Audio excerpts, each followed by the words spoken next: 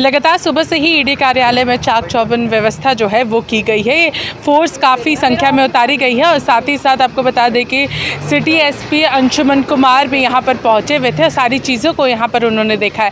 सीधे सुनते हैं उनका क्या कुछ कहना है।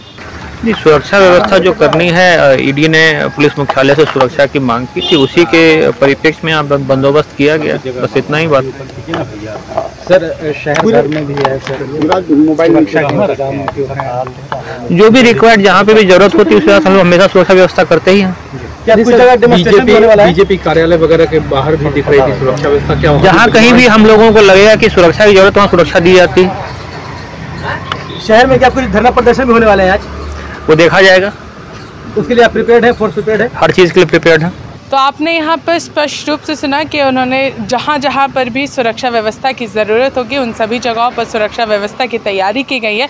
और साथ ही साथ यहाँ पर भी जो ईडी कार्यालय की ओर से फोर्स की मांग की गई थी, उसके लिए सारी तैयारियाँ यहाँ पे कर दी गई थी। तो चूँकि ये फोर्स इसलिए भी ईडी कार्यालय ने मांगी थी, क्योंकि मुख्यमंत्री हेमंत सोरेन को यहाँ पर पहुँचना था और साथ ही साथ जो कार्यकर्ता एकजुट हो रहे थे, उन सारी चीज़ों को देखते हुए ये कार्य, ये पूरा जो फोर्स है, उसको यहाँ पर ईडी कार्यालय के द्वारा मांगा गया था।